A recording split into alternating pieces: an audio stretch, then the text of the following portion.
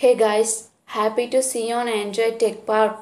This video is gonna tell you the solutions for iPhone shows charging but battery percentage not increasing. First solution is check the charging cable and power adapter. First remove the charging cable from the power adapter and wait for few seconds. Then reinsert it back and make sure that charging cable is plugged well into the power adapter. After that, connect your iPhone to the power source and check if the battery percentage is increasing. Second solution is force restart your iPhone. If you are using iPhone 8 or later, first quickly press and release the volume up button. Then quickly press and release the volume down button. After that, hold down the side button until the Apple logo appears. If you are using iPhone 7 or 7 Plus, hold down the side button and volume down button simultaneously until you see the Apple logo.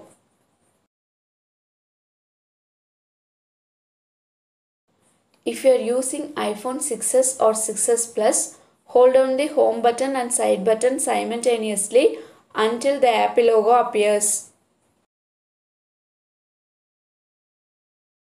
Third solution is clean the charging port. Take a toothbrush and clean the charging port using it. Make sure that there is nothing stuck in the charging port. You can also use a toothpick to poke into the charging port to remove if there is anything stuck in it.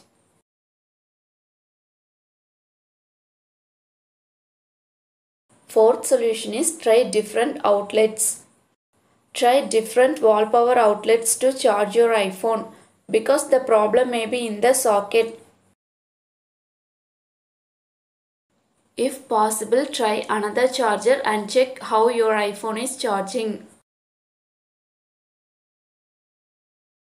Fifth solution is cool down your iPhone. Sometimes this issue will occur when your iPhone becomes hot. So cool down your iPhone if it is hot and then charge it. To cool down your iPhone, first turn off your iPhone. Then keep your iPhone in a cool place and let it cool down for 1 or 2 hours. After that, turn on your iPhone. Now connect your iPhone to the power source and check the battery percentage.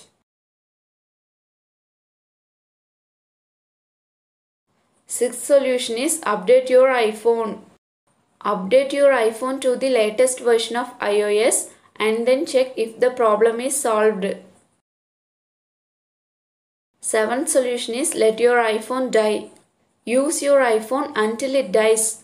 Then connect your iPhone to the power source and let it charge for 45 minutes. Then check the battery percentage.